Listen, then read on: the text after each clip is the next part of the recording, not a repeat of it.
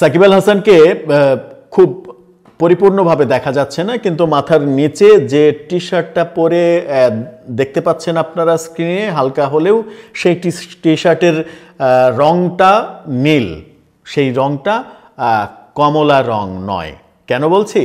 এর আগে একটা ভিডিওতে তাকে খুব হন্তদন্ত হয়ে দৌড়ে, হেলিকপ্টারে উঠে বিকেএসপি থেকে ঢাকায় আসতে দেখার ভিডিও হয়তো আপনারা দেখেছেন এবং আমরাও স্থির চিত্রে দেখিয়েছি যে সাকিব আল হাসান দৌড়ে আসছেন, হেলিকপ্টারে উঠলেন তারপরে চলে গেলেন।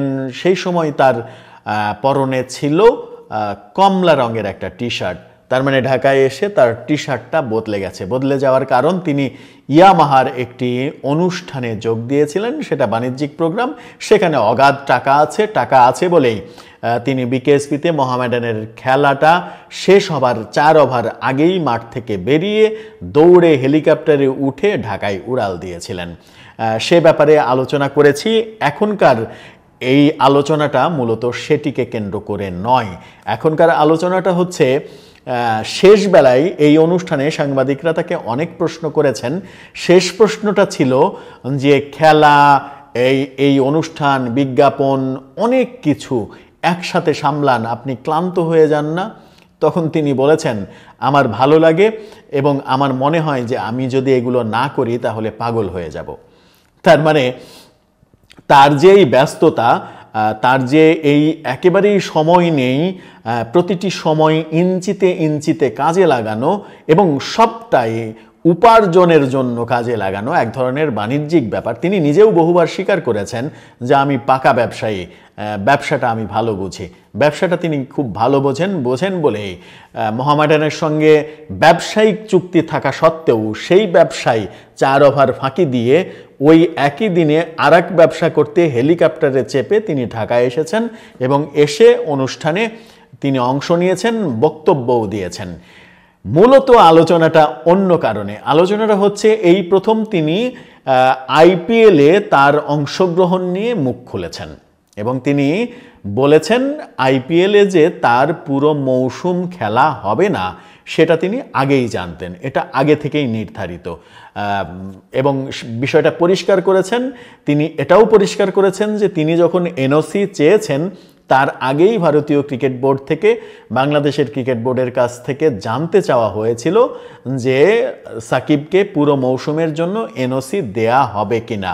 বোর্ড থেকে তাদেরকে জানিয়ে দেয়া হয়েছে যে, বাংলাদেশের যখন খেলা থাকবে।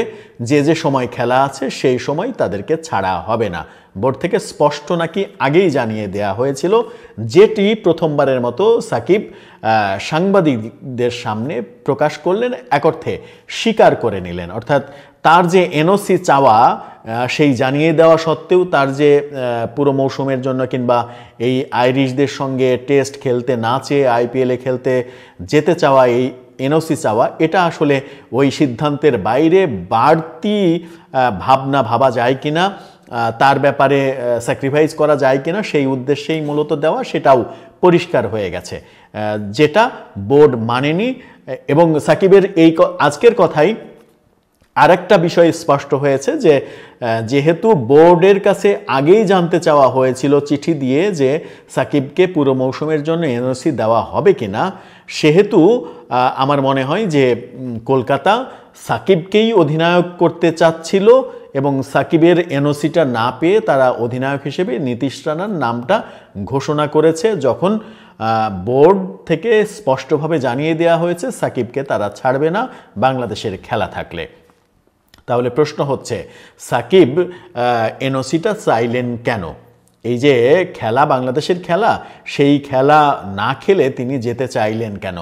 এটা নিয়ে এত বেশি নাটকের মতো হলো কেন? একবার বোর্ড সিদ্ধান্ত নেয়, এনওসি দেবে, একবার সিদ্ধান্ত নেয়, দেবে না। বোর্ডের মধ্যে একদিন আগেই সিদ্ধান্ত হয়েছিল, সাকিবকে তৃতীয় টি টোয়েন্টি খেলার পরে ছেড়ে দেয়া হবে। কোনো কোনো সংবাদ মাধ্যম এটাও নিশ্চিত করেছিল যে বোর্ডের একাধিক কর্মকর্তা পরিচালকরা নিশ্চিত করেছেন যে দ্বিতীয় টি টোয়েন্টি খেলেই সাকিব চলে যাবেন। তৃতীয় টি টোয়েন্টিতে অপেক্ষাকৃত নতুনদের নিয়ে এক্সপেরিমেন্ট করা হবে। যেহেতু এখন এক্সপেরিমেন্টের টাইম কোনো কিছুই হয়নি। শেষ বেলায় বোর্ড প্রেসিডেন্ট এসিসির মিটিং সেরে দেশে ফিরে সব কিছু উল্টে দিয়েছেন এবং স্পষ্ট বলে দিয়েছিলেন, হবে না। কোনো এনওসি হবে না।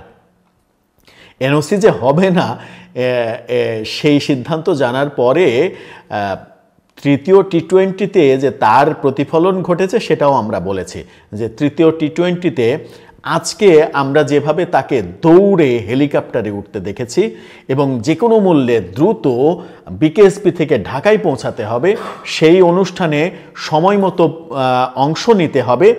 সেটির বেলায় তার যে ক্ষুধাটা ছিল, অর্থাৎ তার যে ডেডিকেশন ছিল, সেই ডেডিকেশনটা কি তৃতীয় টি টোয়েন্টি ম্যাচে অধিনায়ক সাকিবের মধ্যে ছিল?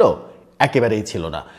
সেই খেলা দেখে মনে হয়েছে তিনি বাধ্য হয়ে তার মনের বিরুদ্ধে জোর করে খেলছেন। সেটাতে কি বাংলাদেশের ক্রিকেট লাভবান হয়েছে? বিসিবি লাভবান হয়েছে? সাকিব, লিটন সহ খেলে আয়ারল্যান্ডের সঙ্গে হারাটা কি আমাদের জন্য সম্মানজনক হয়েছে? হয়নি।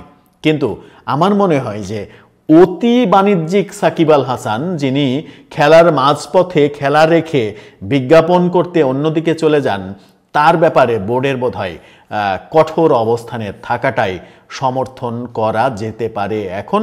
কারণ সাকিব অনেক বেশি কমিটেড তার কমার্শিয়াল সাইডে কমিটমেন্টটা অনেক কম তার যদি মাঠে দেখা যায়, তাহলে বোর্ডের বোধহয় আরও আরও বেশি কঠোর হওয়ার সময় এসেছে। আমার মনে হয় যে ভবিষ্যতে বোর্ড আরও বেশি কঠোর হবে। যে দৃশ্য আজকে দেখা গেছে, সেই দৃশ্যটা কোনোভাবেই কাম্য নয়। যদিও তিনি বলেছেন যে এইভাবে প্রতিটা মিনিটে ব্যস্ত থাকতে না পারলে তার মনে হয় যে তিনি পাগল হয়ে যাবেন।